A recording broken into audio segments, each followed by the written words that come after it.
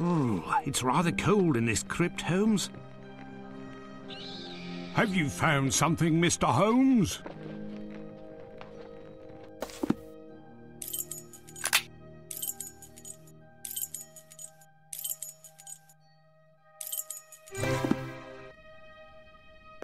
You must be Sherlock Holmes, am I right? The chief told me to help you. What can I do? Can you help me to identify certain weapons that are found here? No problem. That's easy. Show them to me, and I'll tell you what they are.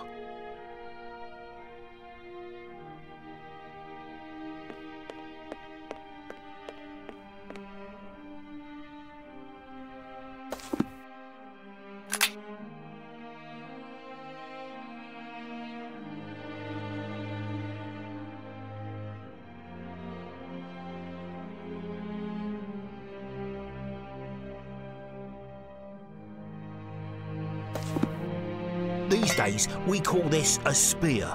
During the Middle Ages, it was called a glaive.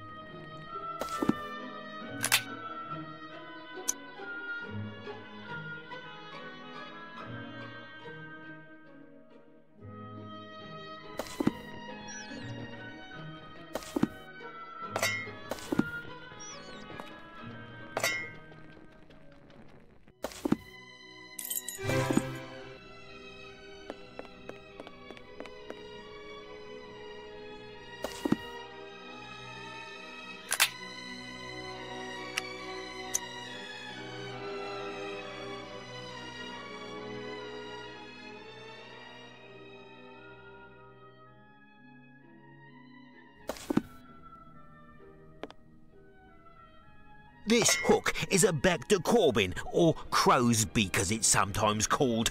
It was complemented by a hammer or spike.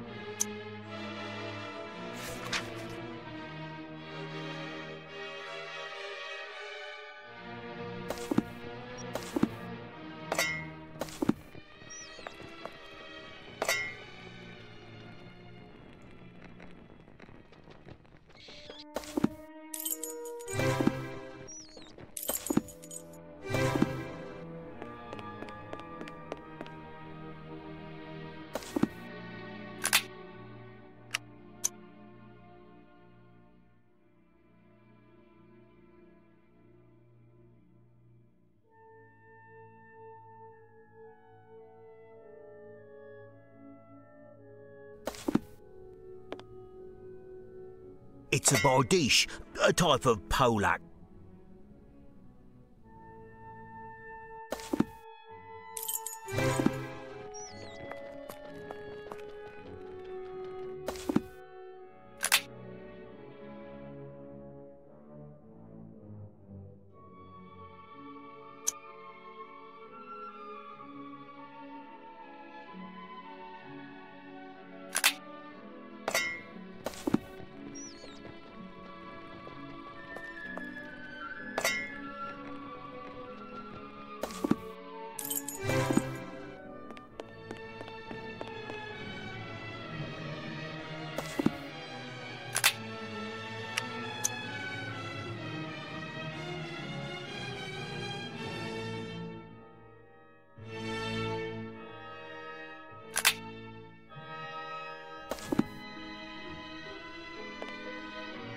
A partisan, a hasta.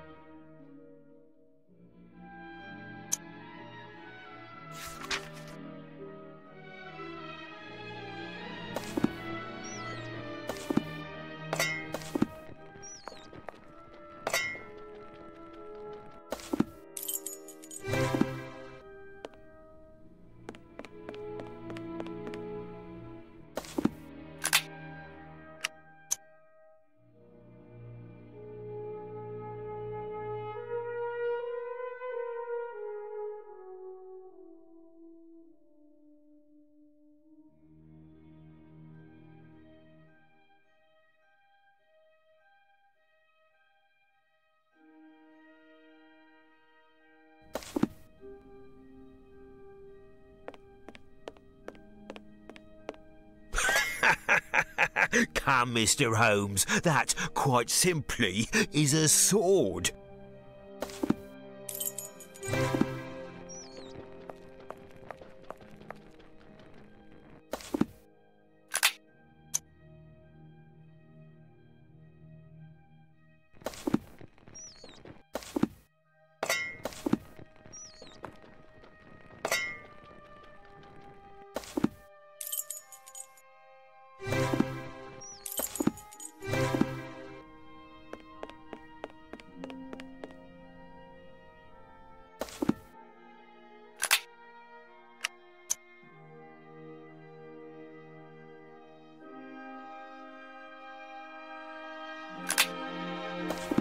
A Morning Star, a club-like weapon quite popular with the English Army.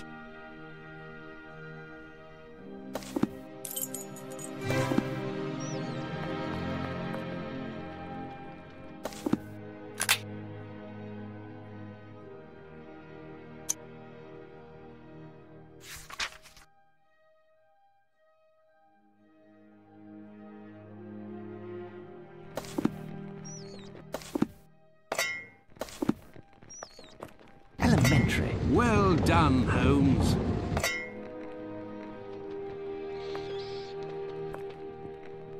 Look, it's a bat, Holmes. Indeed, Watson, it is scared of our light, as many members of its species are. It will be very hard to attract it and even harder to capture it. If only we could disorient it. Perhaps by pointing a beam to flash a bright light at it. Listen, stay here and prevent it from escaping while I go look.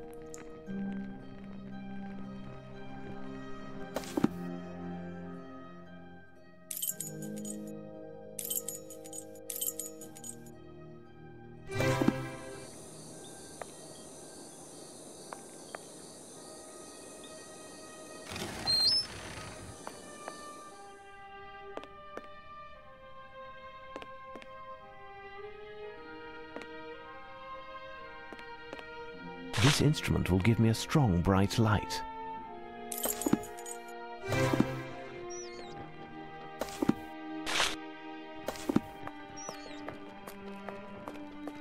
Watch out! Protect your eyes!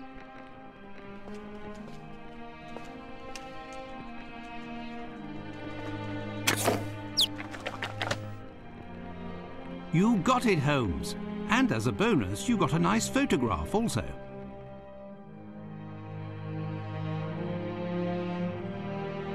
What do you suggest I do with a photograph of a bat, Watson? Give it to Sergeant Wayne. It's his camera.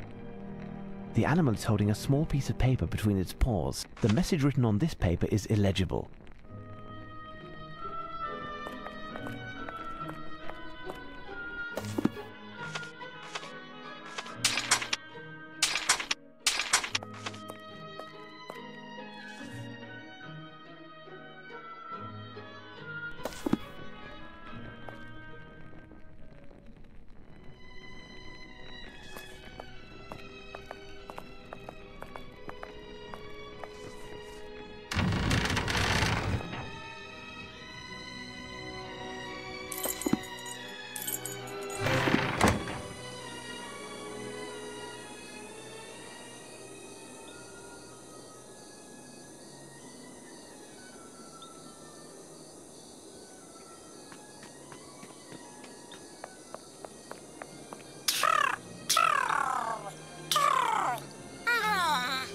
Hear a bird, Holmes. You are right, Watson. Come, we'll have to climb to the wall walk.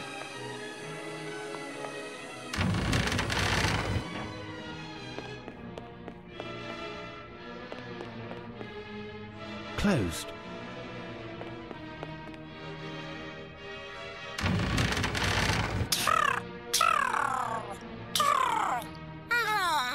I believe a bird on the roof was speaking, but I don't understand what it said.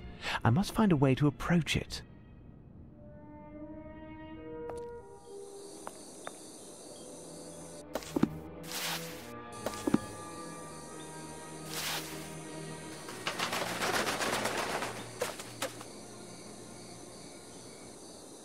What's my name? What's my name? What's my name? What's my name? He keeps asking what his name is. This bird seems to be remarkably well trained.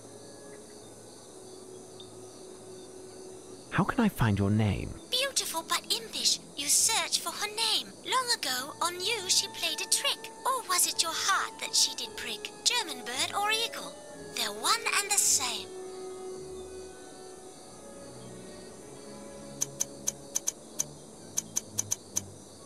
Elementary.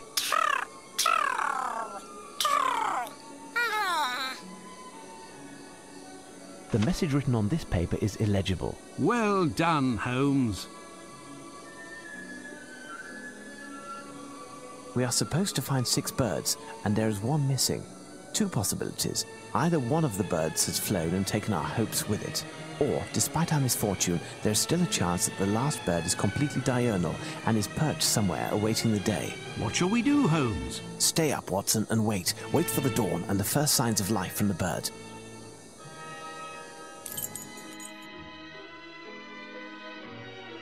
Watson! Watson! I hear a bird's call. It would appear that our prayers were answered. We must seek it quickly, Watson.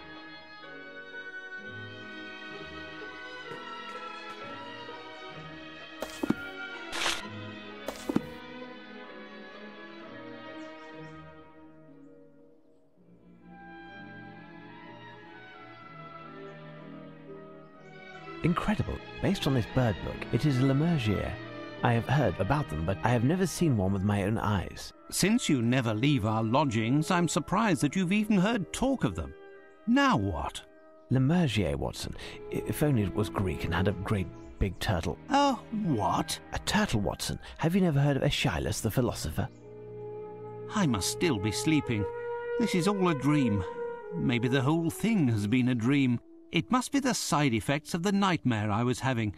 Any moment, Mrs. Hudson will. Watson, get a hold of yourself, man. You aren't dreaming.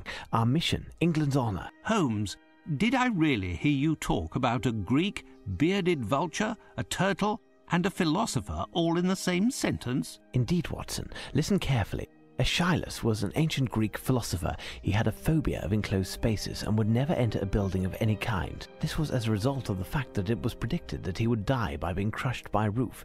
Do you know how Aeschylus died, Watson? His skull was smashed by a turtle that fell from the skies. We cannot escape our destiny. A turtle carries its house on its back, and its shell is its roof. But where did this turtle come from, and why did it fall exactly on the head of this poor man? Some would say that it was the divine power attached to the prophecy. There is, however, a more pragmatic explanation. The Lammergeier, or bearded vulture, likes to eat the bone marrow from the cadavers of large animals. To extract the marrow, it grabs the bone in its claws and flies to a great height. Then it lets go over a rocky area where the bones smash and split open, giving it a lavish feast. Some of them have been observed in Greece behaving the same way with turtles as they normally do with bones, to get at the flesh. Aeschylus was of an advanced age at the time of his death, and his bald head would have reflected light like a smooth rock. Had he been under the shelter of a house, he would never have been hit with the turtle in the first place. I'll let you ponder the philosophical points of the matter, but coming back to our Lammergeier, we'll need some bait and something with which to capture the beast. Holmes, I will take care of finding a turtle. I'll return as soon as possible. Really, Watson? I commend your industry and valor.